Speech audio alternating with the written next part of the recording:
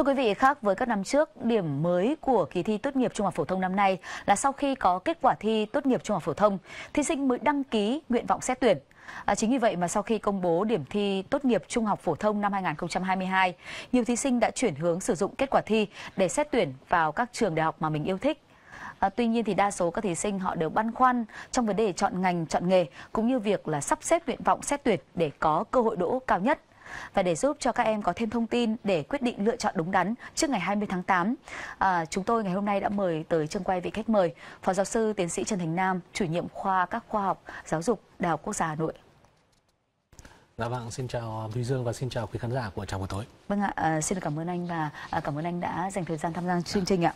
À, với cái phổ điểm tốt nghiệp của năm nay thì cá nhân anh đánh giá thế nào về mức độ biến động thay đổi so với các năm về trước ạ? À, tôi nghĩ rằng là cái kỳ thi tốt nghiệp trung học phổ thông năm nay thì dựa trên những cái phổ điểm mà chúng ta biết thì cũng đã hoàn thành những cái sứ mệnh và có được một cái sự phân hóa các bạn um, thí sinh. Chúng ta nhìn thấy là những cái điểm mà từ 8 trở lên của một số môn ví dụ như là môn toán này thì có thể giảm xuống một chút nhưng mà môn lý môn hóa thì lại là nhiều hơn một chút. Môn tiếng Anh có thể hơi thấp hơn một chút rồi uh, ví dụ như các cái môn như là môn lịch sử hay là giáo dục công dân chúng ta nhìn thấy có một cái sự biến động đi lên. Cái điều này nếu mà để so sánh với cả phổ điểm năm trước ấy, thì có thể đưa ra được một số những cái dự báo chẳng hạn những cái tổ hợp nào mà liên quan đến môn toán hay là môn tiếng Anh có thể sẽ giảm mà một chút. Thế còn đối với cả những cái tổ hợp mà của các cái môn à, ngành khoa học xã hội đấy thì có thể là cái phổ điểm nó sẽ tăng hơn so với cả à, cái năm trước đây. Thì đấy cũng có thể đấy là một cái cơ sở mà các bạn thí sinh cũng như là các gia đình cũng sẽ cần phải lưu tâm để mà chúng ta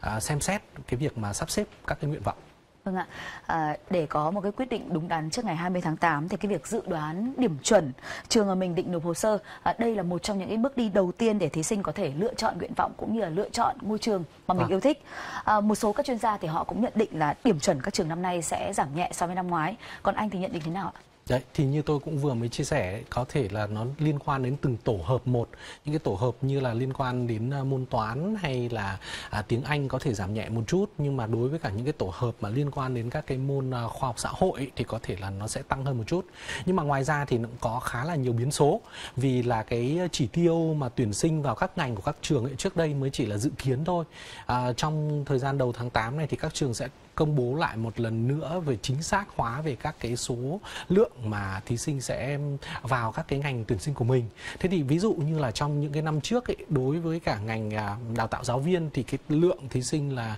à, tăng lên nhiều do là có các cái chính sách theo nghị định 116. Nhưng mà bây giờ thì các bạn cần phải rất là lưu ý ví dụ như là có những cái cơ sở đào tạo mà các bạn rất là thích thú để mà đăng ký vào ngành đào tạo giáo viên chẳng hạn. Thế nhưng mà bây giờ chỉ tiêu năm nay ấy, nó sẽ à, ít lại do là các địa phương có thể là chưa chưa có nhiều cái sự đặt hàng. Và vì vậy cho nên là cái tỷ lệ trọi sẽ rất là cao nếu mà các bạn không có để ý đến cái số chỉ tiêu mà xét tuyển vào các ngành. Và bên cạnh đó thì là sẽ có một số ngành thì là uh, các cơ sở đào tạo có thể là điều chỉnh là tăng cái chỉ tiêu và các bạn sẽ có thêm những cái cơ hội nếu mà cập nhật được các cái số lượng về các cái chỉ tiêu này. Và uh, ngoài ra ấy, thì à, chúng ta cũng sẽ nhìn thấy là có thể là liên quan đến một số những cái ngành mà ví dụ như là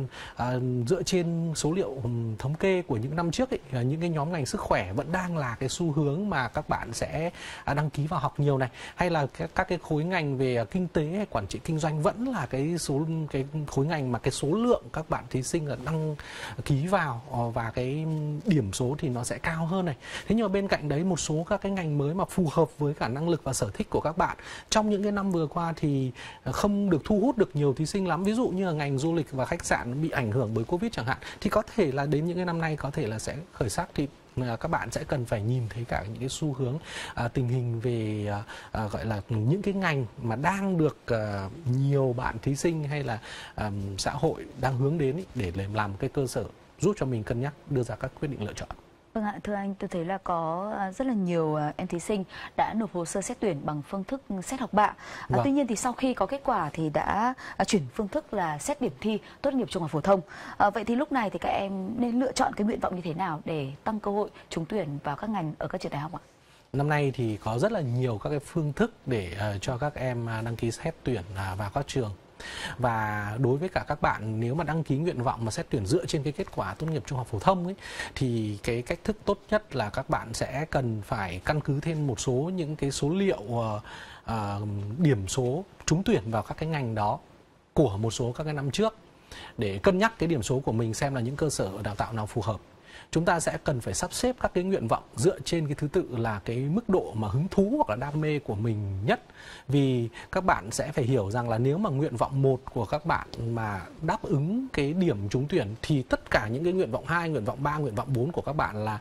uh, automatic là được loại ra khỏi hệ thống và bạn chỉ trúng cái nguyện vọng thứ nhất thôi. Thế vì vậy cho nên là cái thứ tự mà xếp tất cả các cái nguyện vọng các bạn có thể được điều chỉnh nhưng uh, các bạn hãy chọn những cái ngành học nào mà các bạn cảm thấy đam mê, các bạn cảm thấy là muốn đầu tư vào nhất hoặc là um, cam kết với cả cái ngành học đấy nhất thì đưa lên những cái nguyện vọng một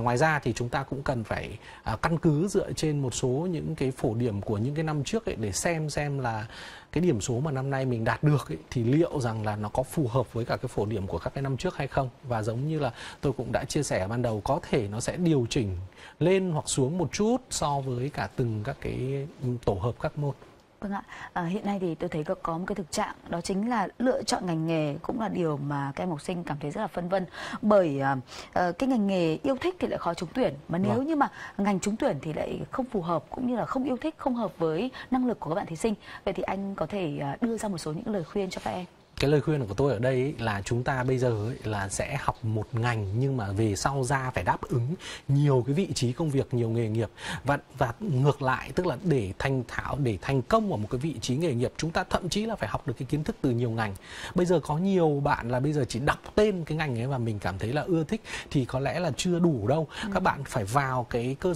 cái trang web của cơ sở đào tạo phải xem cả cái bản mô tả chương trình đào tạo. Các bạn sẽ phải xem xem là chương trình mà bạn đang hướng tới ấy, thì sẽ giúp bạn là tốt nghiệp ra có thể đáp ứng được các cái vị trí công việc nào. Nó có cái mô tả về vị trí việc làm của từng chương trình đào tạo và mình xem xem các vị trí việc làm ở trong cái bản mô tả chương trình đào tạo đấy nó có phù hợp với cả cái chân dung nghề nghiệp mà mình đang hình dung. Tới hay không? Tôi cũng nói rằng là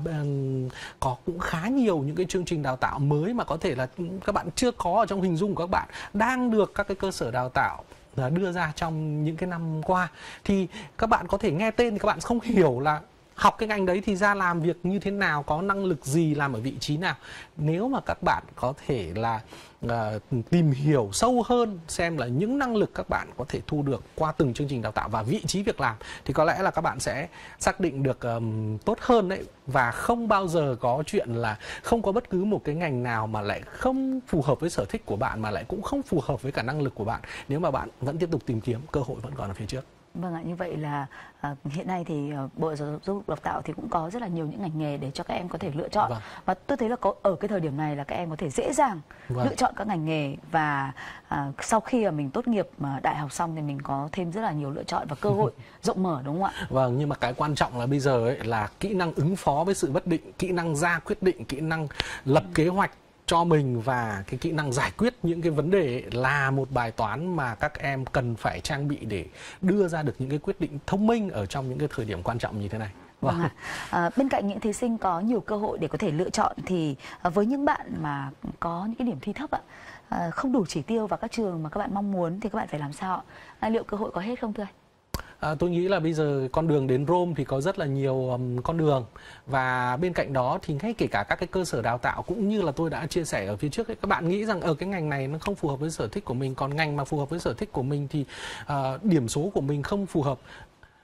chắc là bạn chưa tìm hết các cái chương trình đào tạo hoặc là các cái cơ sở đào tạo đấy. Hãy cùng với cả mà bố mẹ trao đổi với bố mẹ để xem xem là tìm xem còn có những cái cơ hội những cái trường nào hoặc là thậm chí là ở các trường ấy thì bây giờ cũng có những cái đội ngũ là cái người mà tư vấn về hướng nghiệp mà cho các em các bạn cũng có thể liên hệ trực tiếp đến cái đội ngũ đấy tại các trường để có thể nhận thêm được những cái thông tin hoặc là những cái lời khuyên cho phù hợp với cả cái uh, vừa là sở thích cũng như là những cái kết quả mà mình cũng đang có thể là đang đã đã biết đến thời điểm hiện tại. Vâng ạ. À, vậy thì trong các mùa thi sắp tới thì cái xu hướng xét tuyển đại học bằng điểm thi tốt nghiệp à, tôi thấy là sẽ còn bị thu hẹp nhiều hơn nữa và thậm chí là không còn được áp dụng. À, vậy thì các em học sinh lớp 11, lớp 12 à, chúng ta cần phải có những cái sự chuẩn bị và cần có tâm thế nào để thay đổi trong cách học cũng như là cách hướng nghiệp? Vâng, chúng ta biết là giáo dục thì đang chuyển từ cái cách tiếp cận nội dung sang cái cách tiếp cận về năng lực. Và cái quan trọng ấy là các em sẽ cần phải hình thành được các cái năng lực thật cơ. Tức là các em sẽ cần phải tập trung hơn và định hướng về cái nghề nghiệp sớm hơn, có thể là bắt đầu từ những cái năm ở trung học à, cơ sở và sẽ có một cái quá trình chuẩn bị dài hơi cho mình. Xem là cái chân dung nghề nghiệp hoặc là cái định hướng nghề nghiệp trong tương lai mình muốn hướng tới là gì. Và phải lập kế hoạch từ sớm và chúng ta cũng sẽ biết đấy có thể là sẽ có rất là nhiều những cái hình thức mà uh, uh, xét tuyển uh, khác nữa. Ví dụ như là những cái hình thức mà những cái bài thi đánh giá năng lực tổng quát hoặc là ví dụ như là những cái bài thi phỏng vấn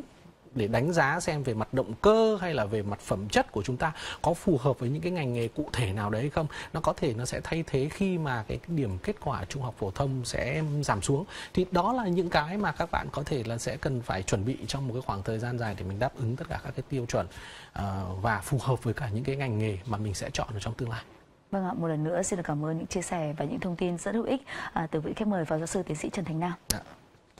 Thưa quý vị và các bạn, với nội dung vừa rồi cũng đã khép lại chương trình chào buổi tối ngày hôm nay của chúng tôi. Cảm ơn quý vị và các bạn đã dành thời gian quan tâm theo dõi. Xin kính chào tạm biệt và hẹn gặp lại.